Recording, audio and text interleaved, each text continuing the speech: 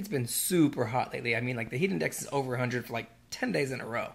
We'll put these in the car and see if we can cook them up.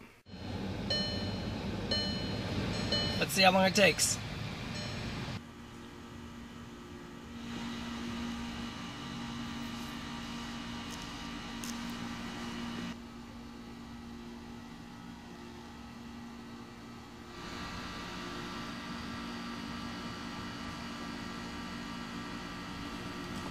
Three hours in. And a little soft. Delicious.